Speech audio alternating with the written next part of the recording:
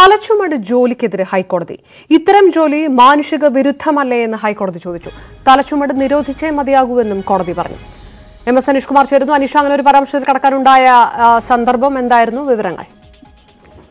Aparna head load workers ആക്ടുമായി ബന്ധപ്പെട്ട ഒരു കേസ് പരിഗണിച്ച് അതിൽ ഉത്തരവുമായി ബന്ധപ്പെട്ടാണ് ഇത്തരത്തിലെ ചില പരാമർശങ്ങൾ കോടതിയുടെ ഭാഗത്തു നിന്നും ഇരിക്കുന്നത് ചുമട്ട് തൊഴിൽ നിരോധിക്കേണ്ട കാലം അതിക്രമിച്ചു കഴിഞ്ഞിരിക്കുന്നു എന്നും ജസ്റ്റിസ് ദേവൻ രാമചന്ദ്രൻ പറഞ്ഞിരിക്കുന്നു. ചുവട്ട് തൊഴിലാളികളെ പുനരുദ്ധരിപ്പിക്കേണ്ടത് അനിവാര്യമായി മാറിയിരിക്കുന്നു. ഇരുപതാം ഇരുപത്തിയൊന്നാം നൂറ്റാണ്ടിലും മനുഷ്യനെ കൊണ്ട് തലച്ചുമടായി ഭാരങ്ങൾ എടുപ്പിക്കുന്നത് പരിഷ്കൃത സമൂഹത്തിന് ഭൂഷണമല്ല എന്നും അദ്ദേഹം പറഞ്ഞു.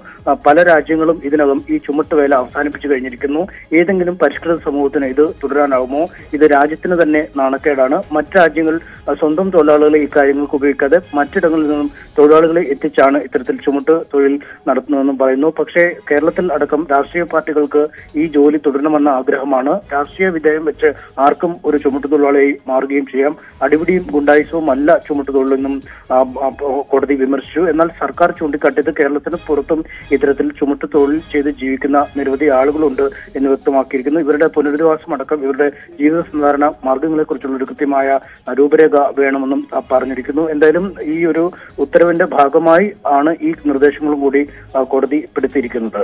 പറഞ്ഞു. എം എസ് അനീഷ് കുമാർ വിവരങ്ങൾ നൽകിയത്